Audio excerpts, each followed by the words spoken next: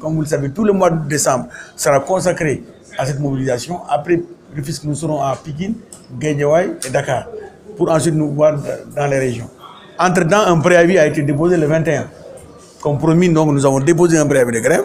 Donc, il est tout à fait normal de venir nous enquérir de la situation à Rufisque et de demander au travers de se mobiliser parce que nous allons engager la lutte.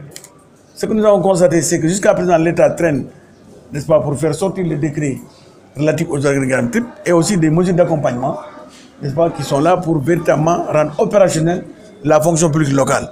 Donc, vous l'avez vu, les camarades sont décidés, ils adhèrent entièrement à ce plan d'action et nous sommes prêts dans les jours des semaines à venir, si vraiment rien ne bouge, c'est-à-dire que si les lignes ne bougent pas concernant nos doléances, à aller en mouvement de grève, c'est-à-dire en grève générale sur l'ensemble du territoire national et dans tous les ordres de collectivité locale. Depuis mars 2011, les décrets d'application, on s'est battu, il en restait 8, 9, les 8 ont été signés et jusqu'à présent, depuis un an, nous courons derrière un décret d'application. Donc, ça, c'est fondamental, il faut que ces décrets viennent compléter les dispositifs législatifs et réglementaires. Maintenant, il y a des mesures d'accompagnement. Une réforme, c'est avec les moyens. Nous avons dit à l'État que la question de la volonté politique pose problème. Nous doutons de sa volonté politique parce que véritablement, s'il y avait une volonté politique, nous allons dépasser la réforme. Aujourd'hui, lorsqu'on parle de collectivité locale, on ne parle que d'élections locales, que les reports d'élections. On ne parle pas des travailleurs. Au nom de quoi? Ce sont les travailleurs qui font fonctionner la machine lorsque les élus ne sont pas là. Donc pourquoi on doit résumer la politique de décentralisation dans ce pays aux politiciens? Que les politiciens Les mandats électifs, n'est-ce pas Les moyens mettre à disposition, mais on ne parle jamais de l'essentiel, c'est-à-dire les ressources humaines. À Rufisque, il y, a, il y avait les, les ex-communes d'arrondissement. Ces ex-communes d'arrondissement souffrent plus que tout autre parce que ces ex-communes, euh, avec l'avènement de l'acte 3, se sont vues affectées du personnel ce personnel-là qu'ils devaient prendre en charge, en plus de leurs charges habituelles. Ce qui fait que le problème s'est beaucoup plus posé dans les ex-communes d'arrondissement. Dans les villes également, dans les, en ville ici à Rufisque, ça s'est plus ou moins amélioré. Mais avec la selle, la condition économique locale, le problème est revenu, est devenu plus grave. Imaginez que les 2 milliards et quelques que la commune percevait en patente, en contrepartie, lorsque la selle est, est, arrivée, la commune ne percevait que 700 millions de francs.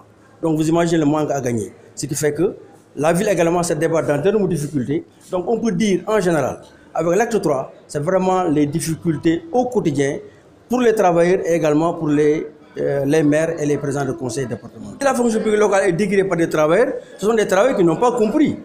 D'autant qu'on n'oblige personne à entrer dans la fonction publique locale. Il s'agit d'un choix à faire.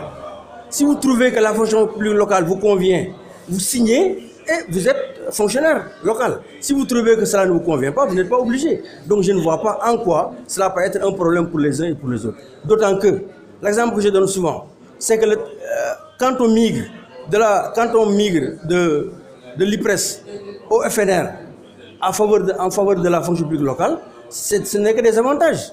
Parce qu'on sait pertinemment que les retraités dans le comité local avaient des salaires dérisoires.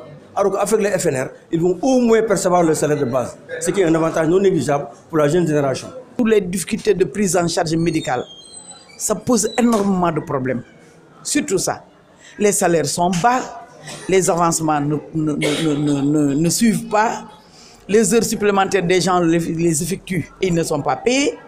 Et surtout dans les communes, les anciennes communes d'arrondissement qui sont devenues communes aujourd'hui, il y a énormément de problèmes pour les agents municipaux qui vivent là-bas. Les banques, non, les banques, les, les banques aujourd'hui, euh, je pense qu'ils ont des, ils, ils n'ont pas seulement des couteaux pour tuer, mais ils ont des sabres pour couper la tête des agents municipaux.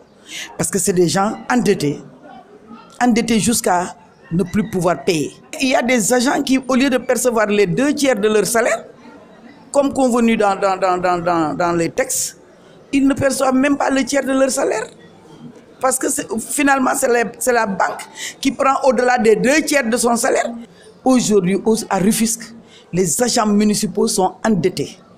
Euh, L'État est en train de faire la guerre aux communes, surtout aux communes qui ont des, des, des, des ressources, telles que la Sokosip, qui partagent ça jusqu'à Fongelemi.